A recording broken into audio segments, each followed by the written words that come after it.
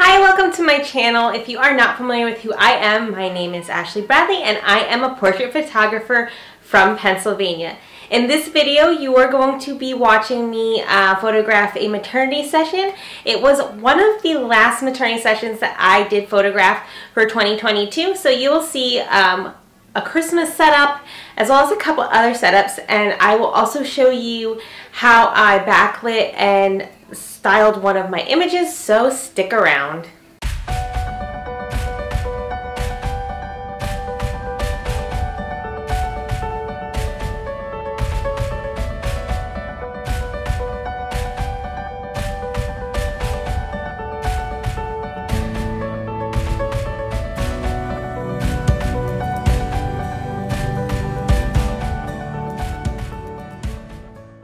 So I actually didn't film the process of me creating this setup today.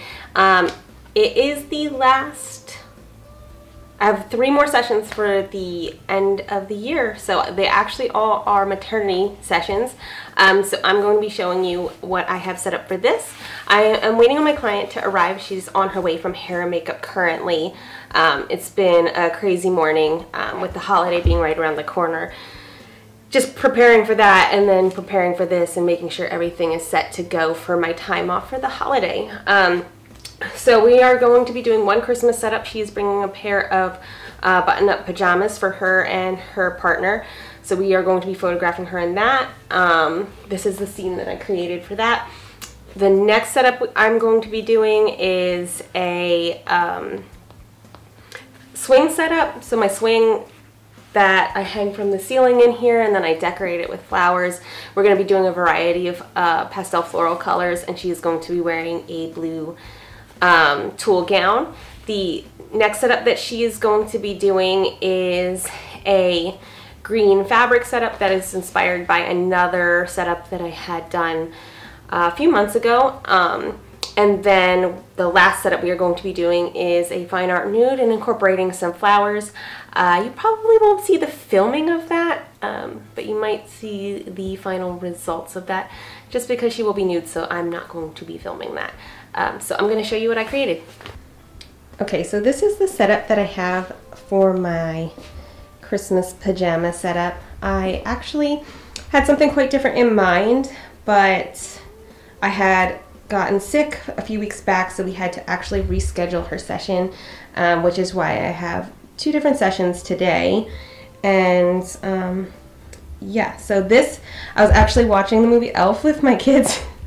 and the scene where he kind of created that whole explosion of Christmas in the toy store, I was inspired to kind of create something a little similar. Um, I have, I was thinking a more cozy atmosphere for the clients. So they'll be sitting in here. I'll probably be photographing from this angle um, and I have some lights on the floor because I'm going to be shooting through those to give that nice unbroken effect. So yeah, I am super excited for them to arrive and I can't wait to photograph this setup. And then as always, I like to have all of my um, clients' garments steamed and ready to go. So we have her blue dress here, and that's what she's going to be wearing. And um, I have the green fabric back here, this is what we're going to be doing um, for like this fine art nude fabric setup. Um, it's going to be backlit. This one we're, uh, using with this swing.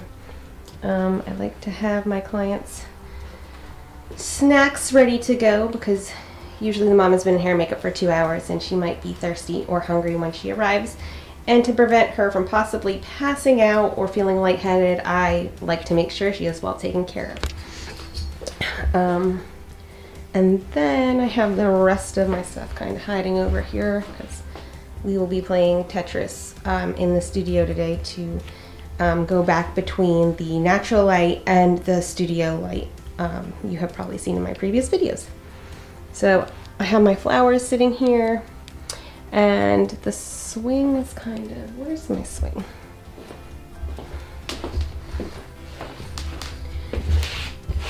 And I have my swing ready to go. This is actually the other end um, from behind the Winter Wonderland So I like to typically stuff a few things in this corner that you won't see in the picture just to make sure we can move through each setup efficiently.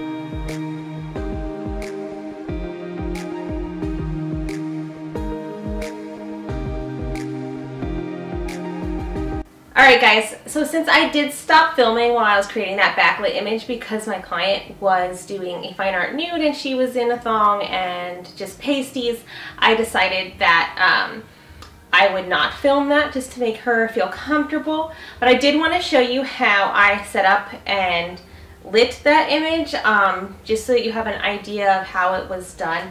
Um, I did use a white Savage Seamless paper. Right now I just have gray set up. Um, you probably saw me starting to set up um, the look and then I cut out the film or cut out the footage. So what I did to light that image, and it's the way I light a lot of my backlit images, is I have my, like I said, White Savage Seamless. You can uh, go with a different brand. Seamless Paper Savage is just my favorite, and it's pretty easy to get. You can usually order it off of Amazon. It's here pretty quickly. Um, my studio is narrow, so my seamless is usually just under eight, about eight feet, because my studio is only 10 feet wide, so my stand can't reach the entire back. Um, I could get a stand that would go to the wall, but not really because um, it's windows behind here. So it's just a regular stand. Um, anyway, so I have two different lights that I use for my backlit images. Um, right now I'm only working with one strobe and then I have some continuous light. I am getting a second strobe on the way. I do have a different brand strobe that I take outside, but it's not the Godox. Godox is what I use. Um, anyway, so you saw I had, uh, my Godox strobe was right here. It was on power 1 slash 16. Um, and then I had my box modifier on it. It did not have a grid, it was just the modifier with the diffuser on the outside of it, and that is placed into this corner.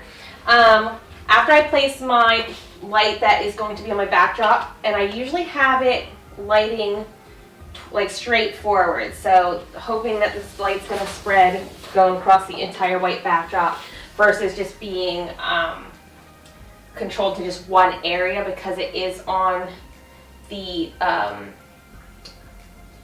box. I think that's what it's called. Um, so yeah, it's facing parallel to get the entire backdrop lit. Then what I do is I take my 42 or 41 inch PLM and then if you are working with a second strobe, you would want to diffuse it um, since I was working with continuous light, I took both of my diffusers off and just worked with um, inside. So I used um, white lined PLMs. So it was a white line PLM. Um, then I had put it at a 45 degree angle on the opposite side of my client. And then as high as it could go facing towards her. Now I use a continuous light so the power is a lot less and so if you were using a strobe you would use a lesser power than the strobe you were using in the back. You want your backlight to be brighter than the light that is in the front. That's just what I did to create this image. Um, sure there's another way to do it. That's how I did it. Um, then the next thing that I did because I don't have an assistant so I took one of my light stands that doesn't have anything on it. I'm not using it right now. And then I took my fabric. You could use any color you want. I used green sheer because that's what the client had selected.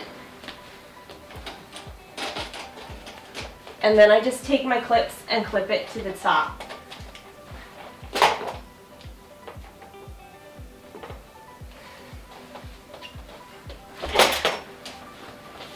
And you want to weight it. That's pretty important, but I'm not going to weight it right now. So what I did is I doubled it up to make it smaller. Should probably do that before.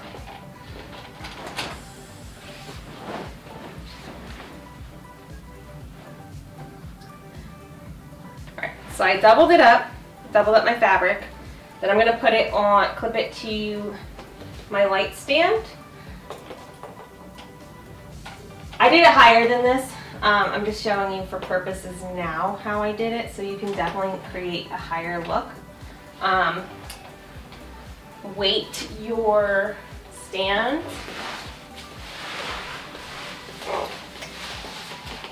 So it's not falling on your client, or if you're doing a model call, it's not falling on your model. All right, so all of my fine art nude images for my client's comfortability, and it always depends on them. I always have them bring uh, uh, like a nude color thong and then I give them pasties, just like plain pasties to put on, um, just to help them feel a little more comfortable because um, not everyone wants to be naked, but the pictures are really pretty. And then I just edit them out in Photoshop or cover them however. So the way I did this drape is I had it coming over her breast and then wrapped it around her belly. And it came down here to her thigh. And then what I had was the dad was pulling this corner all the way down the corner super tight. So we had it tight going here and then tight going this way. And then we did a couple different poses. So it was backlit. There's still light coming to light her face a little bit. And then we have the fabric coming this way and then in Photoshop, um, because I do have a narrow studio, I have to edit out the strip box and then I also have to extend the backdrop and do quite a bit of retouching. But that is how I created that look. And we'll see the final images now.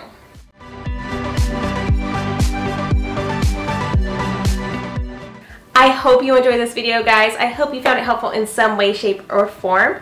If you enjoyed the content, please like and subscribe to my channel, and I will see you next Tuesday. Bye!